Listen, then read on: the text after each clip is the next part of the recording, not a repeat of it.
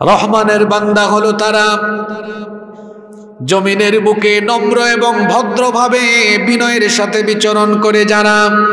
এজন্য রব্বুল আলমিন তার বান্দাদের গুণাবলী উল্লেখ করতে গিয়ে তিনি বললেন ওয়াইবাদুর রহমানিল্লাযীনা ইয়ামশুনা আলাল আরদি হাওনা রহমানের বান্দা হলো তারা। জমিনের বুকে নম্রভাবে, ভদ্রভাবে বিনয়ের সাথে বিচরণ করে যারা, রহমানের বান্দারা অহংকারী হয় না। অহংকার করা এটা মানুষের জন্য শোভা পায় না। হাদিসে কুৎসিতে আল্লাহ তালা বলেছেন, আল কিবরিয়া উরিদাই অহংকার হলো আমার চাদর। যে ব্যক্তি মানুষ হয়ে অহংকার করে, সে যেন আল্লাহর চাদর নিয়ে টানাটানি আরম্ভ করে। আর যে আল্লাহর চাদর নিয়ে টানাটানি আরম্ভ করে, দুনিয়া এবং আখিরাতে ওই ব্যক্তিকে ভয়াবহ শাস্তির সম্মুখীন যিনি করবেন তিনি কে? খবরদার মানুষ হয়ে আপনি অহংকার করবেন না। অহংকারের কোনো যোগ্যতা আপনার নাই। কারণ এক ফুটা নাপাক পানি থেকে আপনাকে বানানো হয়েছে। এমন নাপাক পানি থেকে আপনার পয়দা হয়েছে যে নাপাক পানি বের হয়ে গেলে মানুষের উপরে গুসল ফরজ হয়ে যায়। এই রকম এক ফুটা নাপাক পানি থেকে আমাদেরকে বানানো যিনি আরম্ভ করেছেন, জোরে বলেন তিনি কে? এরপরে আবার সব কিছু চূর্ণ বিচূর্ণ হয়ে সব দাম্ভিকতা, সকল ক্ষমতা, সব কিছু চূর্ণ বিচূর্ণ হয়ে আবার আমরা মাটির সাথে মিশে যাব। সুতরাং যেই মানুষ মাটি থেকে সৃষ্টি হয়ে মাটির সাথে আবার মিশে যায়, সেই মানুষের অহংকার করা কোনো শোভা পায়? আমাদের সমাজে কত রকম, কত রকমের অহংকার করা মানুষ আছে, কেউ বা জ্ঞানের বড়াই করে, জ্ঞানের অহংকার করে নিজের কাছে জ্ঞান আছে বলে মনে করে, সে সব চাইতে বেশি জানে। মনে করে, হামসে বড় কোন? হে, আমার চাইতে আর বড় কে আছে? এরকম জ্ঞানের বড়াই করা মানুষ আমাদের সমাজে আছে না নাই? জ্ঞান হলো আল্লাহর দেওয়া নেয়ামত। আল্লাহ তালার কাছ থেকে জ্ঞান পাওয়ার পরে আপনি বড়াই করবেন না, কারণ যিনি জ্ঞানের নিয়ামত দিয়েছেন, সেই আল্লাহ আবার জ্ঞানের নিয়ামত কেড়ে নিয়ে আপনাকে রাস্তার পাগল বানাতে পারেন কি পারেন না? টাকা পয়সার বড়াই করবেন না, কারণ যাকে আল্লাহ দয়া করে টাকা দিয়েছেন, পয়সা দিয়েছেন সকাল বেলার ধনীকে। বিকেল বেলার রাস্তার ফকির আল্লাহ বানাতে পারেন কি পারেন না? আরও জুড়ে বলেন, পারেন কি পারেন না? ক্ষমতার অহংকার করবেন না? ক্ষমতা বড় স্বার্থপর জিনিস।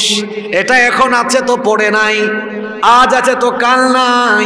সেই ক্ষমতা পেয়ে আপনি হিংস্র হায়নার মতো জালিমের ভূমিকায় অবতীর্ণ হয়ে মানুষের উপর জুলুম করবেন না। কারণ ক্ষমতা দিয়েছেন যিনি, মানুষকে বেশি যন্ত্রণা দিলে মানুষের জুতার বাড়ি খাওয়াইয়া ক্ষমতার চেয়ার থেকে নামাইতে পারবেনও তিনি। সুতরাং ক্ষমতা পেয়ে ক্ষমতার বড়াই করবেন না, ক্ষমতার অহংকার করবেন না। মানুষের জন্য অহংকার করা শোভা পায় না। অহংকার হলো ইবলিসের স্বভাব, অহংকার হলো ফেরাউনের স্বভাব।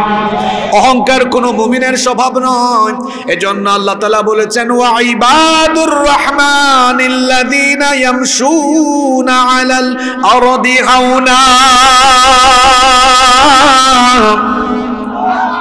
রহমানের বান্দা হলো তারা। জমিনের বুকে নম্রতার সাথে, বিনয়ের সাথে বিচরণ করে যারা। রহমানের বান্দারা অভদ্র হয় না, বেয়াদব হয় না। আমরা রাস্তাঘাটে চলার সময় মাঝে মাঝে এমন চিত্রও দেখা যায়, অনেক ছেলেপেলেরা কিশোর, তরুণ যুবকেরা আদবের সাথে রাস্তাঘাটে চলে না। রাস্তাঘাটে মুরব্বীদেরকে দেখলে, বড় ভাইদেরকে দেখলে হেডামারও বেড়ে যায় মোটর সাইকেল চালিয়ে যায়, মুরব্বীকে দেখলে আরও জোরে হরন দেয়। এমন বেয়াদব ছেলে রাস্তাঘাটে আসে না নাই? খবরদার এরকম বেয়াদবের মতো রাস্তাঘাটে চলবেন না, আদবের সাথে চলাফেরা করবেন। কথাবার্তায়, চলনে বলনে, উঠা বসায় যেন আমার নম্রতা আর ভদ্রতার বহিঃপ্রকাশ ঘটে। মোমেন ব্যক্তি কখনো অহংকারী হয় না, অভদ্র হয় না, বিনয়ী অহংকারী হয় না, কখনো সে দাম্ভিক হয় না। আল্লাহ তালা কোরআনুল করিমের সতেরো নম্বর সুরা সুরা বনি ইসরাইলের সাঁত্রিশ নম্বর আয়তে বলেছেন, ওয়ালা তামশি ফিল আরদি মারাহা, ইন্নাকা লান তাখরিকাল আরদা ওয়া লান তাবলুগাল জিবালা তুলা। জমিনের বুকে অহংকারের সাথে বিচরণ করো না। কারণ জমিনের উপরে অহংকারের সাথে পথ চলে তুমি মাটিকে ফাটিয়ে দিতে পারবে না। আবার অহংকারের সাথে জমিনে বিচরণ করে আকাশের উচ্চতায় তুমি পৌঁছে যেতে পারবে না। লোকমান হাকিমের জন্য তার ছেলেকে সতর্ক করেছিলেন। তিনি তার ছেলেকে সুন্দর সুন্দর কিছু নসিহত করেছিলেন। সেগুলো আল্লাহ সুরা লোকমানের ভেতরে তুলে দিয়েছেন। তিনি তার ছেলেকে উপদেশ দিতে গিয়ে এক পর্যায়ে বলেছিলেন ওয়ালা তুসাইর খাদ্দাকা লিন্নাসি ওয়ালা তামশি ফিল আরদি মারাহা। বাবারে গাল বাঁকা করে মানুষকে তুচ্ছ তাচ্ছিল্য করে অহংকারের সাথে মানুষের সাথে কথা বলো না। ইন্নাল্লাহ লা ইউহিব্বু কুল্লা মুখতালিন ফাখুর। নিশ্চয়ই আল্লাহ কোনো দাম্ভিক, কোনো অহংকারী ব্যক্তিকে পছন্দ করেন না। মানুষকে সম্মান দিতে শিখেন। কথাবার্তায় বিনয়, নম্রতা বিনয়ের বহি প্রকাশ ঘটান যে ব্যক্তি বিনয়ী হয়, আল্লাহ তার সম্মান বাড়িয়ে দেন। সুবহানাল্লাহ। রহমানের বান্দাদের প্রথম গুণ হলো এরা অভদ্র নয়, তারা ভদ্র। এরা অহংকারী নয়, বরং এরা হলো নম্র আর বিনয়ী।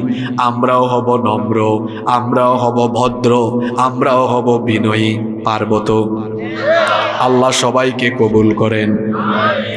এরপরে রহমানের বান্দাদের দুই নাম্বার গুণাবলী হলো, রহমানের বান্দারা উগ্র হয় না, এরা বদমেজাজি হয় না। বরং রহমানের বান্দারা হয় সহনশীল, তাদের ক্যারেক্টার এত চমৎকার, গালির জবাবে তারা গালি দেয় না, মন্দের জবাবে তারা মন্দ কোনো কথা বলে না।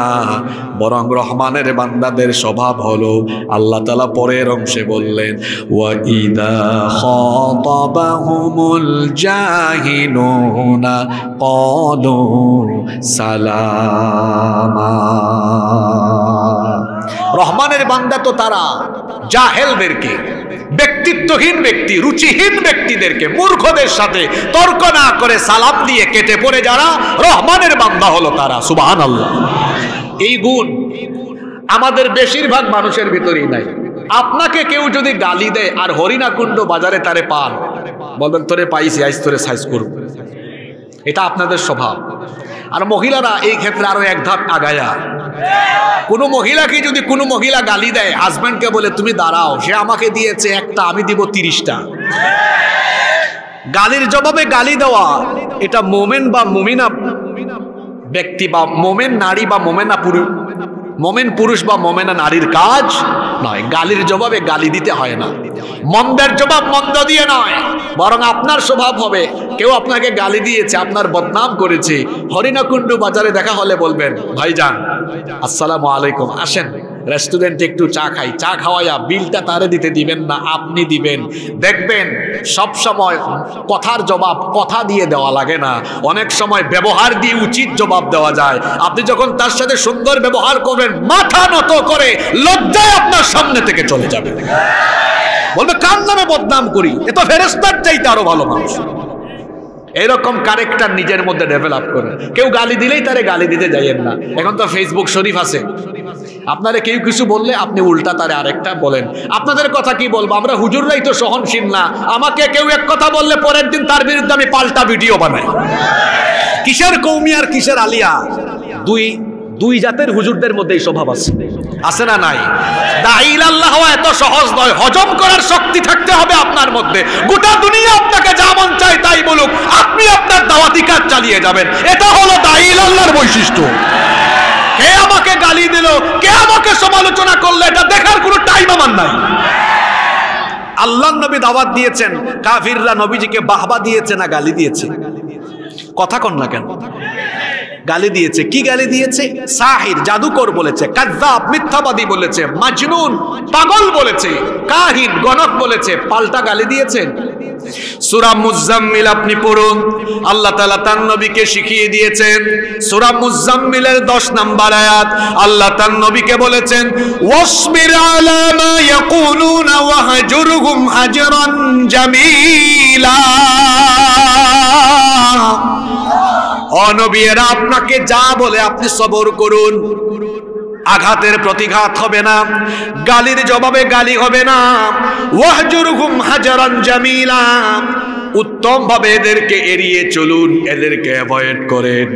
এটাই হবে আমাদের বৈশিষ্ট্য, এটা হবে দাওয়াতি ময়দানে দায়ীদের বৈশিষ্ট্য। জাহেলদের সাথে তর্ক হবে না, এই যে এখন দেখা যায় কৌমি হোক, আলিয়া হোক, বহস বহস। তর্ক করে এটা মুমিনের স্বভাব নয়। আল্লাহ তো বলেছেন, তর্ক এড়িয়ে যাও, জাহেলদেরকে সালাম দাও। কারণ তর্কের মাধ্যমে কোনো জিনিসের সমাধান হয় তর্ক দিয়ে সমাধান হয়েছে পৃথিবীতে, একটা ঘটনা আমার দেখে তর্ক করলে দেখা যায় মারামারি, ঝগড়া আরও বাড়ে না, কমে। এজন্য রহমানের বান্দাদের বৈশিষ্ট্য হবে, তারা কখনো অজ্ঞদের সাথে তর্ক করবে না। অজ্ঞদের সাথে তারা কখনো সময় নষ্ট করবে না, বরং তারা অজ্ঞ ব্যক্তিদেরকে সামনে পেলে সালাম দিবে, গালির জবাবে সালাম দিবে, মন্দের জবাবে ভালো আচরণ করবে, পারবেন তো? ঘুমাই গেছেন নাকি? রাত এগারোটার পরে তো ঘুম আসবেই, কমিটি আর একটু পরে উঠাইলে পারত। আমি কিন্তু বারোটাই আমি কিন্তু যখনই দেন বারোটা। একটু আগে উঠাইলে বেশি কথা শুনতেন আর কি। কয়টা বললাম? রহমানের বান্দাদের কয়টা গুণ বললাম? এক নম্বরে রহমানের বান্দারা অভদ্র না ভদ্র? অহংকারী না বিনয়ী? দুই নম্বর, রহমানের বান্দারা বদমেজাজি নাকি রহমানের বান্দারা সহনশীল? জোরে বলেন। তিন নাম্বার, কি সুন্দর আল্লাহ ধারাবাহিক বর্ণনা করলেন। রহমানের বান্দারা দিনের বেলা বিনয়ের সাথে বিচরণ করে, উগ্র মেজাজি না সহনশীলতার সাথে চলে। যখন সন্ধ্যা হয়ে যায়, রাতের অন্ধকার নেমে আসে। রহমানের বান্দারা রাতের বেলা কি করে? রাতের বেলা আমাদের অনেক ভাইয়েরা আছেন। আর্জেন্টিনা, ব্রাজিলের খেলা দেখে আইপিএল বিপিএল দেখে, আমাদের অনেক বোনেরা আছে ভারতীয় সিরিয়াল দেখে। অনেক ছেলেরা আছে ফ্রি ফায়ার পাবজি, বাবজি খেলে আছে না নাই? রহমানের বান্দারা খেলাধুলা, আড্ডাবাজি, রং তামাশা করে রাত কাটায় না। তাহলে রহমানের বান্দারা রাত কেমনে কাটায়? আল্লাহ পরে রায়তে বলছেন, ওয়াল্লাযীনা ইয়াবিতুনা লিরাব্বিহিম সুজ্জাদাও ওয়া কিয়ামা। রহমানের বান্দা হলো তারা। রাতের বেলা তাদের রবকে দাঁড়িয়ে দাঁড়িয়ে রুকু আর সাজদা দিয়ে দিয়ে রাত কাটায় যারা। রহমানের বান্দা হলো তারা রহমানের বান্দারা রাত জেগে তামাশা করে না, খেলাধুলা করে না, সিরিয়াল দেখে না কেসিনোতে যায় না, মদের বারে যায় না। রহমানের বান্দারা রাত জেগে জেগে ভোরবেলা কনসার্টের জন্য অপেক্ষা করে না। কুয়েটে দেখেছেন? রাত জেগে জেগে কনসার্টের জন্য অপেক্ষা করে ভোরবেলা কনসার্টে গিয়েছে। আপনারা দেখেন নাই ফেসবুকে? আজকে আর একটা ভিডিও দেখলাম ব্রাক ইউনিভার্সিটিতে। কি নোংরামি, কি অসভ্যতা চলছে। ছেলে মেয়েদেরকে বিশ্ববিদ্যালয়ে পড়ানোর আগে, বিশ্ববিদ্যালয়ের পরিবেশ কেমন? মা বাবা এটা আগে জানবেন। কারণ জ্ঞান অর্জনের পাশাপাশি আপনার সন্তানকে চরিত্রবানও বানাতে হবে। যদি আপনার ছেলে মেয়ে সমকামী হয়, চরিত্রহীন, লম্পট, লুচ্চা বদমাস হয় পড়াশোনার শেষে আপনার খেদমত করবে না। ঘর থেকে, বাড়ি থেকে বের করে অল্ড হোম বৃদ্ধাশ্রমে আপনাকে পাঠিয়ে দিবে। বুঝে শুনে সন্তানকে কোন জায়গায় পড়ালে ভালো হয় একটু বুঝে শুনে পড়াই নইলে ঘাট ধাক্কা দিয়ে আপনার মতো বাপকে, আপনার মতো মাকে বাড়ি থেকে বের করে আল্লাহ বুঝার তৌফিক দান করেন। আরও আসতে বলে না আমি এটা পৌরসভা, পৌরসভায় মাইকের পাওয়ার এত কম কেন? মাইক ব্যবসায়ী ভাই, ভালো হইয়া যান, ভালো হইতে পয়সা লাগে না।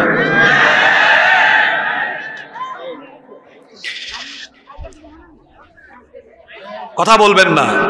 তিন নম্বর, রহমানের বান্দারা রাত জেগে তামাশা করেন। আপনারা কুমিল্লায় যাবেন, ফেনীতে যাবেন। মাইকের নাম বলে দিন, নূর মাইক। এতটুকু দূর থেকে কথা বললে, আওয়াজের যন্ত্রণায় শ্রোতা টিকতে পারে না। এতটুকু দূর থেকে। সোভান আল্লাহ আর আপনাদের এলাকায় আসলে একদম মানে এটাকে ঠেলাইতে হয়, ধাক্কাইতে হয়, তাও আওয়াজ বের হয়। নূর মাইকে যাবেন ঢাকায়, কল রেডি আছে। ওদের কাছ থেকে প্রশিক্ষণ নেবেন যে, ভাই, এই দেখেন, আমি এদিকে হয়ে গেলে আওয়াজ কমে যায়। যে নূর মাইক, কিংবা কুমিল্লা অঞ্চলে আরও ভালো ভালো মাইক আছে। ওই যে কসবাতে হাসান আছে, ন্যাশনাল সাউন্ড সিস্টেম আছে। বক্তা এদিকে ফিরলেও তাও শ্রোতা আওয়াজের যন্ত্রণা টিকতে পারে না। এখানে প্রেশার দিতে হয় কেন? রহমানের বান্দারা তিন নম্বর রাতের বেলা তামাশা করে না। কাকে সাজদা দেয়? জোরে বলেন। তাহাজ্জুদ আদায় করে। আমরা কেউ কেউ ঘুমাতে ঘুমাতে সকালবেলা উঠলে দেখা যায় গাল ফুলে গেছে, চেহারা ফুলে গেছে। আমরা ঘুমাতে ঘুমাতে চেহারা ফুলে যায় আর আল্লাহ নবী রাতের বেলা দাঁড়িয়ে থাকতে থাকতে তাহাজ্জুদের জন্য দাঁড়িয়ে থাকতে থাকতে পা ফুলে যায়। আল্লাহু আকবার! আমাদের মা উম্মুল মুমিনিন আয়েশা রাদিয়াল্লাহু আনহা বলেছেন, কানা ইয়াকুমু মিনাল লাইলি হাত্তা তানফাতারা কদামা। আল্লাহর রাসূল রাতের বেলা এত দীর্ঘ সময় তাহাজ্জুদের নামাজে দাঁড়িয়ে থাকতেন, দাঁড়াতে দাঁড়াতে আল্লাহর নবীর পা ফুলে যেত আর আমাদের ঘুমাতে ঘুমাতে শরীর ফুলে যায়। এই যে রমজান মাস শুরু হবে এখন, তাহাজ্জুদের অভ্যাস নিজের মধ্যে ডেভেলপ করার একটা সুযোগ এসেছে সারা বছর তাহাজ্জুদের সুযোগ পান না সে। সাহারির জন্য সবাই ঘুম থেকে উঠে। ঘুম থেকে উঠার সময় এক ঘণ্টা আগে উঠেন, তাহাজ্জুদের অভ্যাস তৈরি করেন। তিরিশ দিন তাহাজ্জুদ পরে বাকি এগারো মাস এই আমলটা ধরে রাখেন। কারণ আল্লাহ নবী বলেছেন, আলাইকুম বিকিয়ামিল লাইল। রাতের নামাজ, তাহাজ্জুদের নামাজকে তোমরা তোমাদের অভ্যাস বানাও। কারণ এটা হচ্ছে তোমাদের পূর্ববর্তী সকল নেককার ব্যক্তিদের আমল। এই আমলকে যদি তোমরা তোমাদের অভ্যাস বানাতে পারো, ওয়াহুয়া কুরবাতুন ইলা রব্বিকুম, এই তাহাজ্জুদের নামাজ তোমাকে তোমার রবের একেবারে নিকটবর্তী করে দিবে। রাতের আধারে যারা সিজদাতে রয়, দু চোখের শ্রুতে নদী যেন বয়। রাতের রাধারে যারা সিজদাতে রয়, দু চোখের শ্রুতে নদী যেন বয়, ছলনার হাত ছানি যত আসুক, পেছনে ফিরেও তাকায় না। যাদের হৃদয়ে আছে আল্লাহর ভয়, তারা কবু পথ ভুলে যায় না। আল্লাহর প্রেম ছাড়াই দুনিয়ায় কারও কাছে কোনো কিছু চায় না। সুবহান আল্লাহ পড়ে। রাতের বেলা সাজদা দেন, মর্যাদা বাড়িয়ে দিবেন কি? চার নম্বরে রহমানের বান্দা হলো তারা। ইবাদত গুজারি হয়ে, অহংকারী হয় না যারা। বরং এত ইবাদতের পরেও আল্লাহর রহমতের আশা করে। কারণ কেয়ামতের দিন শুধুমাত্র ইবাদত দিয়ে, আমল দিয়ে জান্নাতে যাওয়া যাবে না। আমলের সাথে, ইবাদতের সাথে আল্লাহর রহমও লাগবে, আল্লাহর দয়াও লাগবে। কারণ নবীজি বলেছেন, মান্নু কিসাহদ্দিবা কেয়ামতের দিন যার কাছ থেকে হিসাব চাওয়া হবে, বিচার চাওয়া হবে, যার হিসাব করা হবে, ওই ব্যক্তি ধরা খেয়ে যাবে। এজন্য আল্লাহ নবী দোয়া করতেন, আল্লাহুম্মা হাসিবনি ইয়াসীরা। হে আল্লাহ, আমার কাছ থেকে সহজ করে হিসাব নিও। সহজ হিসাবের সিস্টেম হলো, আল্লাহ যদি কিয়ামতের দিন কোনো ব্যক্তিকে মাফ করতে চান, বান্দার হাতে থাকা আমলনামা, আল্লাহ শুধু দেখবেন, কিন্তু যাচাই বাচাই না করে আল্লাহ তাকে জান্নাত দিয়ে দিবে। এজন্য রহমানের বান্দারা ইবাদতের পাশাপাশি রাত জেগে ইবাদত করলেও তারা জাহান নামের আজাব থেকে বাঁচার জন্য দোয়া করে কার কাছে? এজন্য আল্লাহ পরের আয়তে বললেন, রহমানের বান্দাদের গুণাবলী হলো তারা জাহান নাম থেকে বাঁচার জন্য এভাবে দোয়া করে, যারা পারেন আমার সঙ্গে পড়েন। ওয়াল্লাযীনা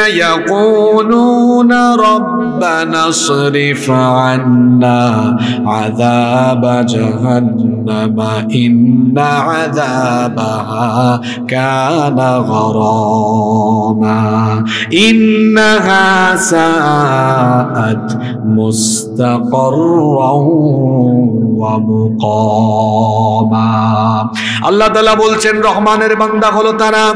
জাহান্নামের আযাব থেকে আল্লাহর কাছে পানা চায় যারা। যারা বলে, হে আমাদের রব, সর্বনাশা জাহান্নামের আযাব থেকে আমাদেরকে বাঁচাও। কারণ আবাসস্থল এবং অবস্থানস্থল হিসাবে জাহান্নাম হলো অত্যন্ত নিকৃষ্ট। পাঁচ নম্বরে রহমানের বান্দাদের স্বভাব হলো, রহমানের বান্দারা কৃপণ হয় না, কিপটামি করে না, অপব্যয় করে না। আমার সমাজে কিছু মানুষ আছে, চলাফেরা খাওয়া দাওয়ায় কৃপণতা অবলম্বন করে। দেখবেন আল্লাহ তাকে টাকা পয়সা দিয়েছেন, এরপরেও দেখবেন ছেঁড়া কাপড় চুপড় পরে এমন কিপটা সমাজে আছে না, নাই। আল্লাহ তালা টাকা পয়সা দিয়েছেন, বাজার থেকে কোনো পুষ্টিকর খাবার কিনে না খাবার খাবার সময় দেখা যায়, অপুষ্টিতে ভুগে শরীরের অবস্থা খারাপ। মনে রাখবেন, কৃপণতা করে আপনি যে সম্পদ জমাচ্ছেন, এই সম্পদগুলো শেষ বয়সে আবার শরীরের পেছনে নষ্ট করা লাগবে। এই জন্য কৃপণতা না করে শরীরের হক আদায় করেন। আল্লাহ ওই ব্যক্তিকে পছন্দ করেন, যে ব্যক্তি আল্লাহর নেয়ামতের বহিঃপ্রকাশ ঘটায়। আল্লাহ যতটুকু দিয়েছেন কৃপণতা করবেন না, নিজের এবং নিজের পরিবারের জন্য খরচ করবেন। আবার খরচ করতে গিয়ে অপব্যয়ের খাতায় যেন নাম উঠে না যায়, কারণ রহমানের বান্দারা খারাপ পথে পয়সা খরচ করে না।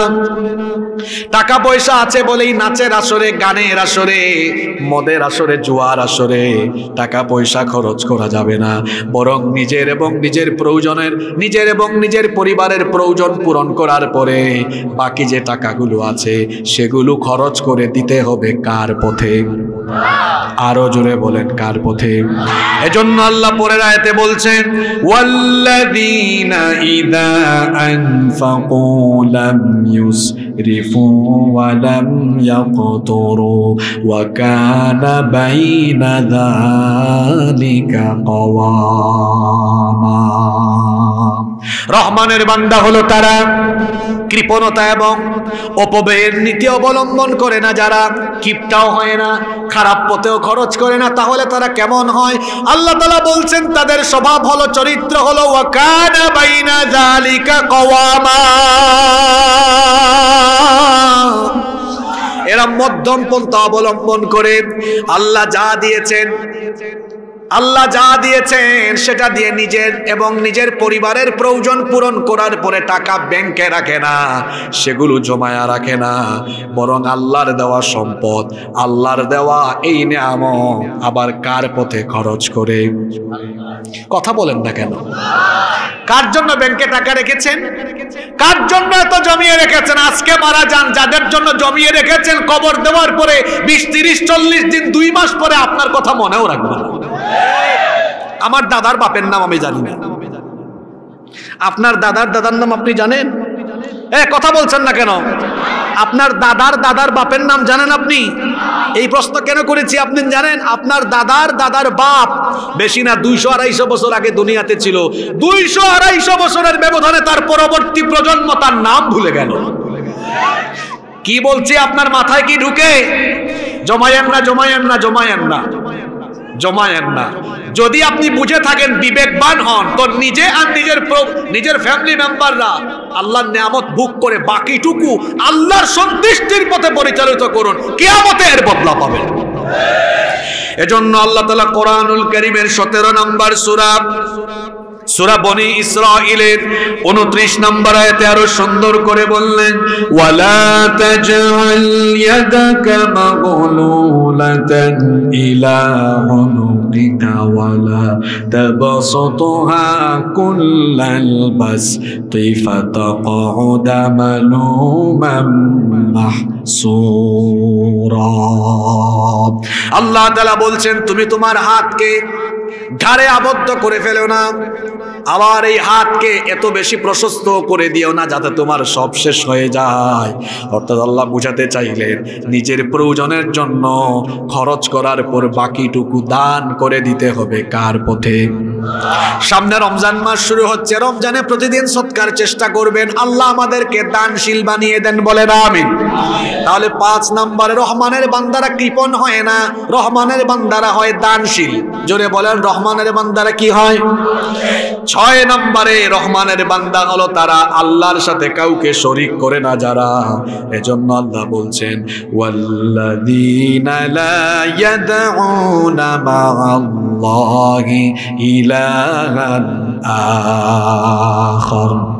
রহমানের বান্দা হলো তারা।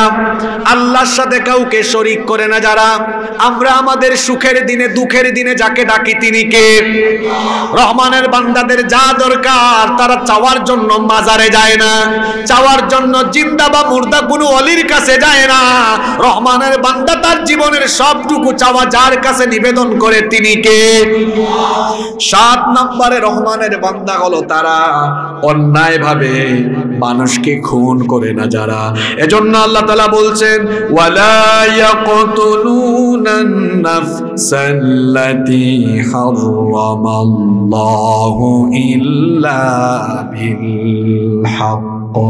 রহমানের বান্দা হলো তারা। অন্যায়ভাবে মানুষকে খুন করে না, হত্যা করে না যারা। অন্যায়ভাবে নিরপরাধীকে অপরাধী বানিয়ে খুন করার নজির এখন দুনিয়াতে নাই। ঘুমায় গেছেন নাকি আপনারা? আপনার সমাজের আশেপাশেই আপনি তাকিয়ে দেখুন, কত নিরপরাধী মানুষকে শুধুমাত্র কোরআনের দাওয়াত দেওয়ার অপরাধে অপরাধী বানায়া নিরপরাধী মানুষকে দুনিয়া থেকে বিদায় করে দেওয়া হয়েছে।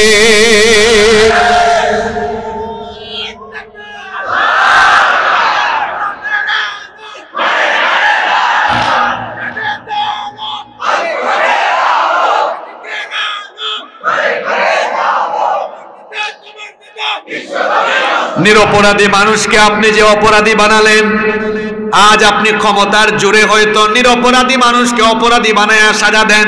মাঝে মাঝে আমার সমাজে দেখা দেয় অপরাধ করে একজন, মামলা খায় আর একজন বাস পুরা একজন, মামলা খাইছে আর একজন ধর্ষণ করে একজন, সাজা পায় আর একজন ধর্ষণ করেছে একজন, আর মামলায় সাজা খাইয়া দুনিয়া থেকে বিদায় হয়েছে আর একজন এই বিচার তো শেষ বিচারে নয়।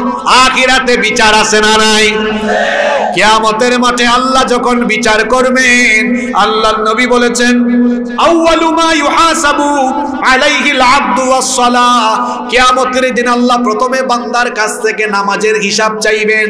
কিয়ামতের দিন প্রথমে হবে আল্লাহর হকের বিচার, আর আল্লাহর হকের বিচার আরম্ভ হবে নামাজ দিয়ে। আল্লাহর হকের বিচার যখন শেষ হয়ে যাবে, শুরু হবে হাক্কুল ইবাদ, বান্দার হকের বিচার। যখন বান্দার হকের বিচার আরম্ভ হবে, নবীজি বলেছেন দিমা। যখন বান্দার হকের বিচার আরম্ভ হবে, সর্বপ্রথম আল্লাহ অন্যায়ভাবে যাদের রক্ত ঝরানো হয়েছে, তাদের হিসাবের বদলা নেওয়া হবে। ক্ষমতার খেলায় কত মানুষের শরীর থেকে রক্ত ঝরিয়েছে কেমতের দিন আল্লাহ একেবারে চূড়ান্ত হিসাব নেবেন। হিসাব আছে না নাই? রহমানের বান্দারা হত্যাকারী হয় না, এরা খুনি হয় না। রহমানের বান্দারা মানুষের জীবন বাঁচায়, রহমানের বান্দারা মানুষের উপর জুলুম করে না, অন্যায় করে না, মানুষের হক নষ্ট করে না। ক্ষমতার ঠেলায় যা মন চায় তাই করেন না, নইলে মারা যাওয়ার পরে মানুষ ইন্নালিল্লাহ পড়বে না, খালি আলহামদুলিল্লাহ পড়বে। যাওয়ার পরে কিন্তু খবর আছে এই জন্য যা মন চায় তাই বলবেন না। এক টাকলার কি অবস্থা হয়েছে আপনারা দেখেছেন? পাগলা। কয়, ইসলাম থাকবে না। ইসলাম তো এখনও আছে রে পাগলা। তোর মন্ত্রিত্ব নাই, তোর এমপিগিরি নাই, তোর কিচ্ছু এখন নাই। টাকলা মুরাদ থেকে শিক্ষা নিন। ক্ষমতায় থেকে বেশি বাড়াবাড়ি করলে ক্ষমতাও যাবে সব কিছু যাবে। মানুষ বেজ্জত বলাইয়া ছাড়বে।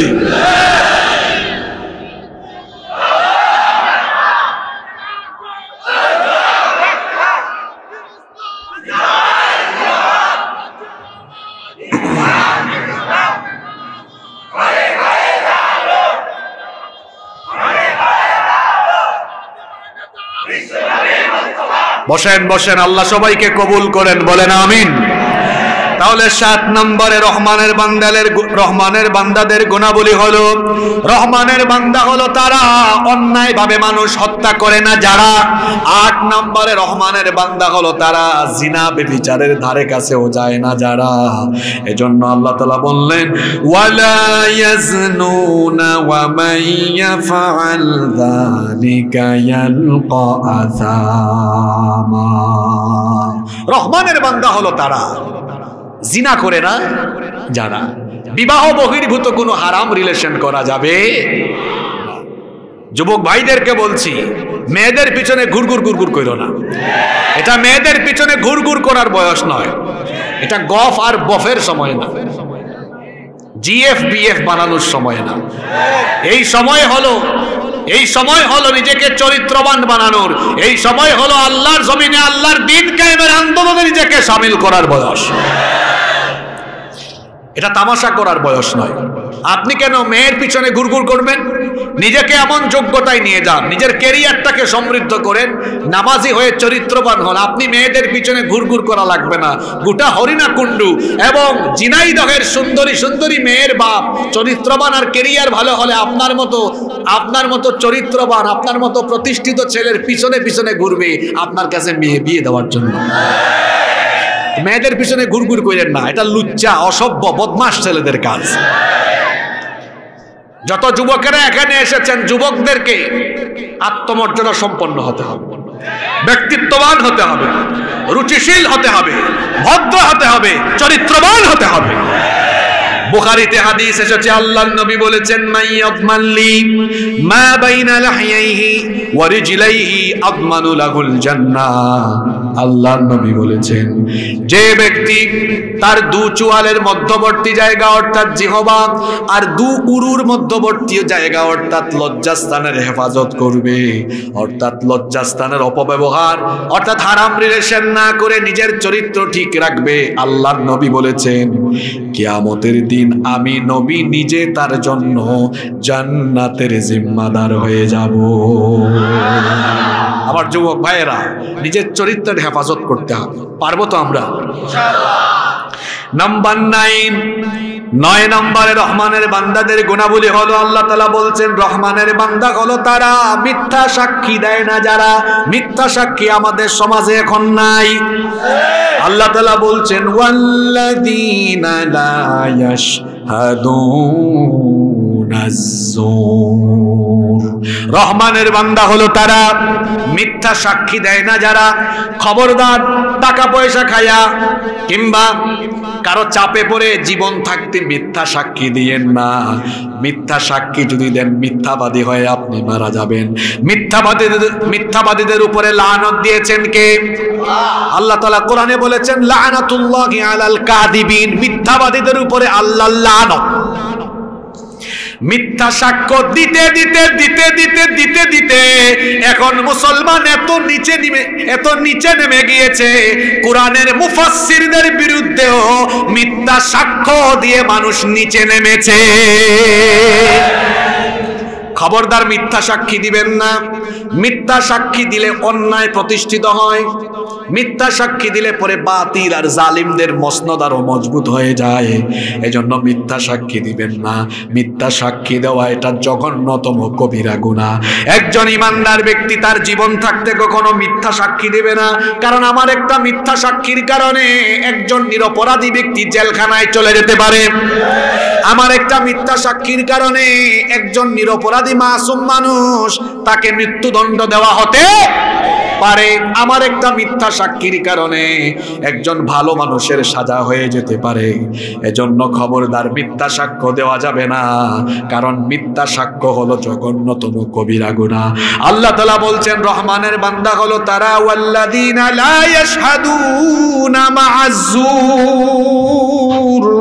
আল্লাহ তালা বলছেন আজ-জুর রহমানের বান্দা হলো তারা। মিথ্যা সাক্ষী দেয় না যারা। তারপরে দশ নাম্বার হলো, রহমানের বান্দা হলো তারা। অনর্থক কথা বলে না যারা, বেহুদা কথাবার্তা বলে না যারা, রহমানের বান্দা হলো তারা। আজে বাজে জিনিসকে অ্যাভয়েড করে চলে যারা। এজন্য আল্লাহ তালা বলছেন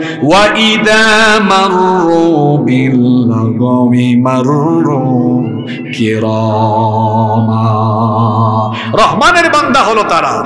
অনর্থক কথা বা কাজকে উপেক্ষা করে চলে যারা। একটা উদাহরণ দেই।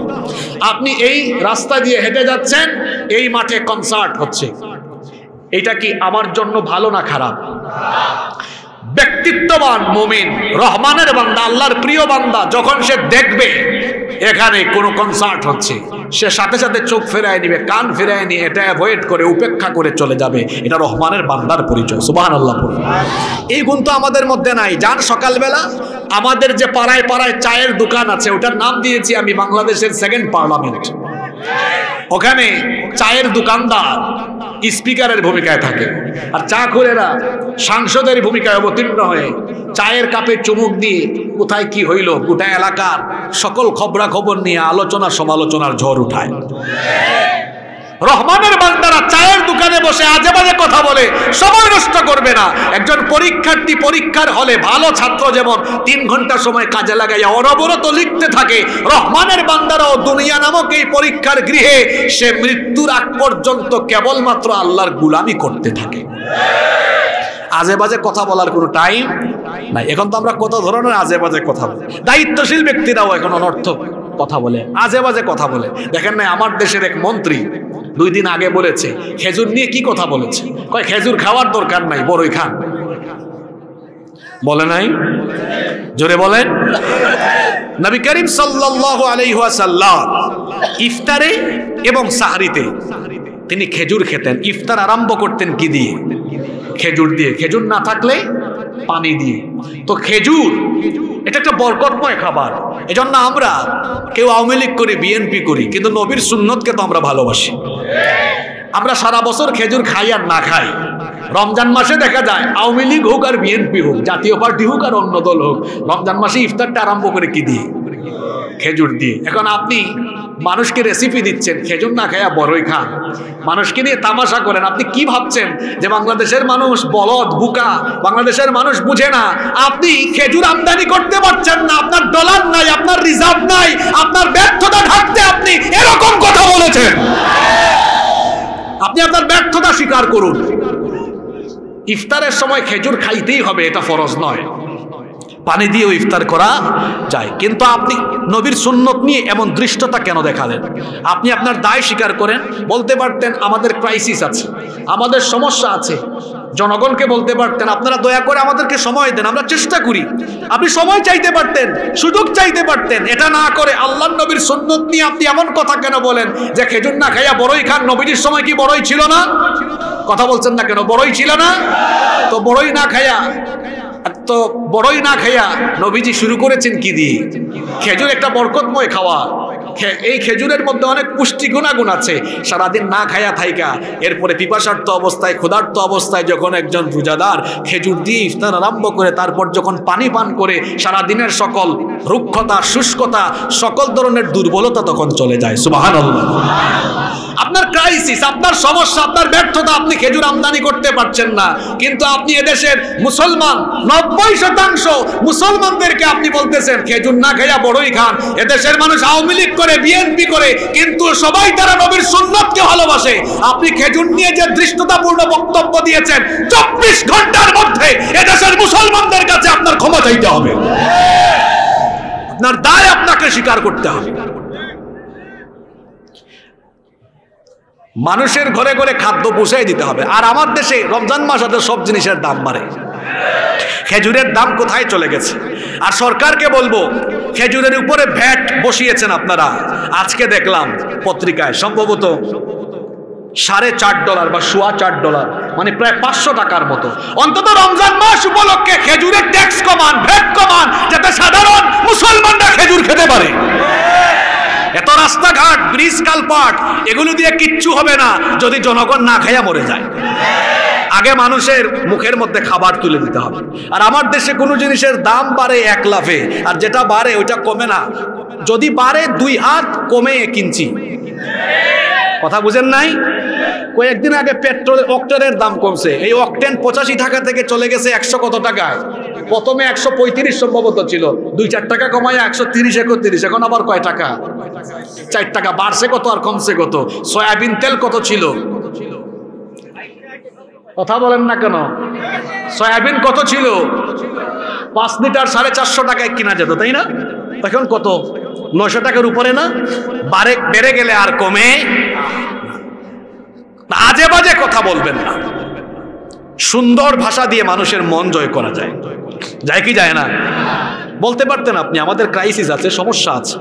সময় দেন, সুযোগ দেন, আমরা চেষ্টা করছি। বাস, হয়ে যেত না? কিন্তু আপনি বলেন কেন? খেজুর না খেয়ে বড়ই খান। আরেক পাগলা দেখলাম জবাবও দিয়েছে, খুব রাফ ভাষায়। তুই খেজুর খাবি আর আমরা বড়ই খাব। চিনান তো আপনারা তারে। এত বছর পরে এত প্রতিবাদ করছে। কারণ এখন ভাগ পায় না তো, ভাগ না পাওয়ার কারণে কথা বলছে। কথা বুঝেন নাই? শুনছেন আপনারা, শুনছেন?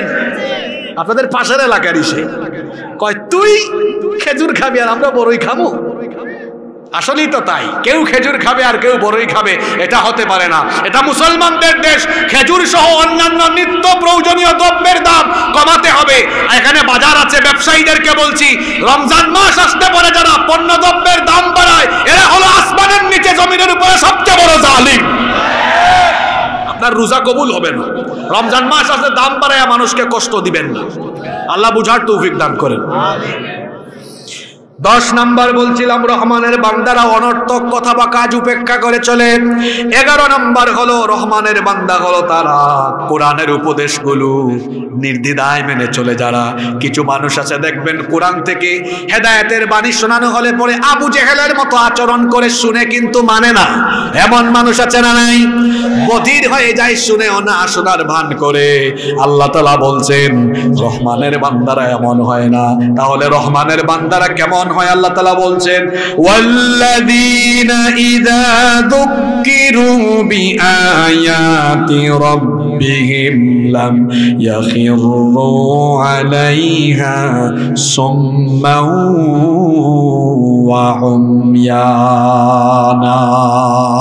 রহমানের বান্দা হলো তারা।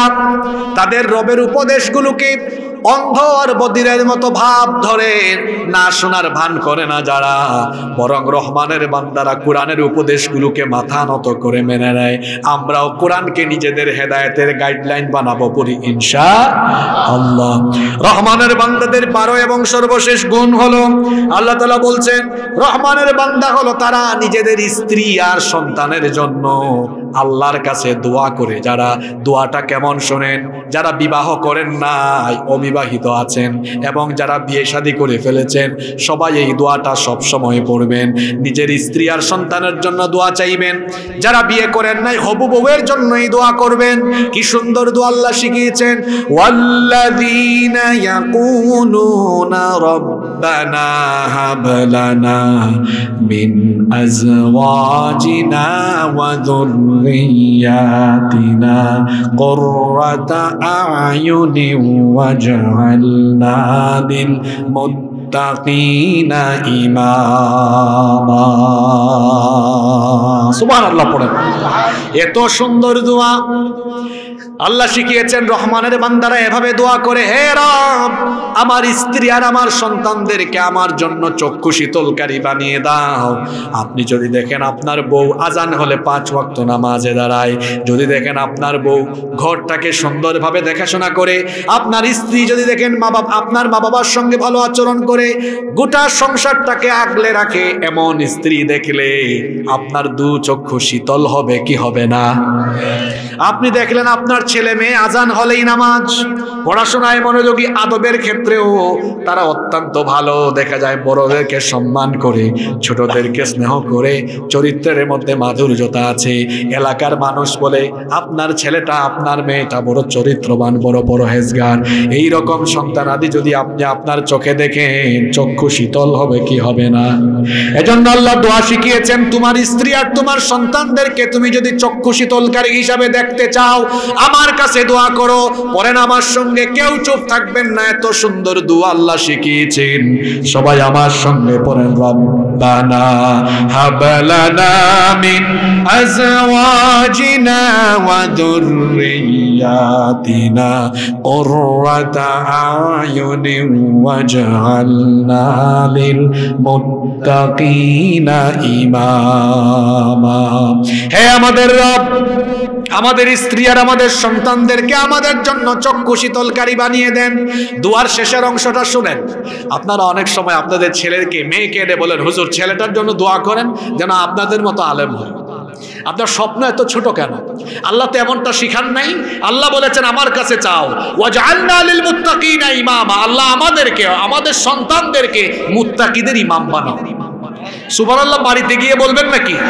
হ্যাঁ আবার কথা কি বুঝেন নাকি গুরস্থানের মুর্দার মতো ওয়াজ শোনেন আপনারা? জনসাধারণের ইমাম না, জনসাধারণের নেতা না, কাদের নেতা? মুত্তাকি কে? মুত্তাকি হলো আল্লাহর আসমানের নিচে, জমিনের উপরে আল্লাহর সবচেয়ে শ্রেষ্ঠ বান্দা বান্দিয়া তাহলে আপনার সন্তান মুত্তাকিদের ইমাম হোক, আল্লাহ দোয়া শিখাচ্ছেন। এখন মুত্তাকিদের ইমাম যদি হয়, সে কম মুত্তাকি না বেশি মুত্তাকি? মুত্তাকিদের ইমাম যে হবে, ইমাম কি আরও বেশি মুত্তাকি না কম মুত্তাকি? এই দোয়াটা করবেন, এই দোয়াটা করবেন, কোনো মোনাজাতে ভুলে যাবেন না। দোয়া করবেন, রব্বানা হাবলানা মিন আজওয়াজিনা ওয়া যুররিয়াতিনা কুররাতা ওয়াজআলনা লিল মুত্তাকিনা হে আমাদের রব, আমাদের স্ত্রী আর আমাদের সন্তানদেরকে আমাদের জন্য চক্ষু শীতলকারী বানিয়ে দেন আর আমাদেরকে মুত্তাকিদের ইমাম বানিয়ে দেন। বলেন আমিন। এখানে রহমানের বান্দাদের মোট কয়টা গুণাবলী বলা হলো? এই বারোটি গুণ অর্জন করবে যারা?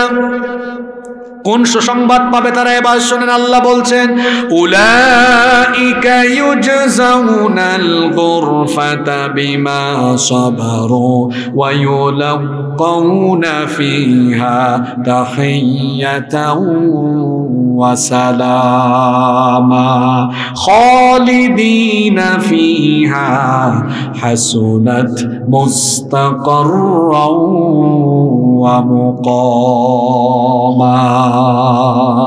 এই গুণগুলো অর্জন করবে যারা চিরস্থায়ী জান্নাতে। সুসংবাদ প্রাপ্ত হয়ে জান্নাতের সুউচ্চ প্রাসাদে থাকবে তারা। কয়টা গুণ বলেছি? কয়টা গুণ?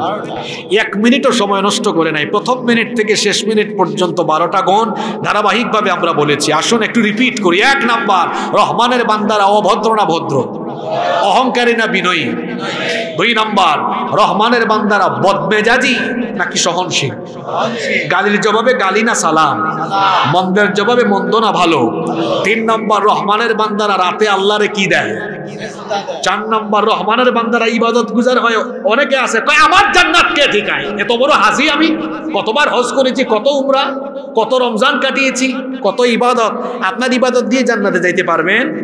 এর সাথে আল্লাহর দয়াও লাগবে। এজন্য রহমানের বান্দাদের চতুর্থ গুণাবলী জাহান্নাম থেকে বাঁচার জন্য দোয়া করে কার কাছে? পাঁচ নাম্বার, রহমানের বান্দারা কিপটা না দানশীল? অপব্যয়কারী না দানশীল?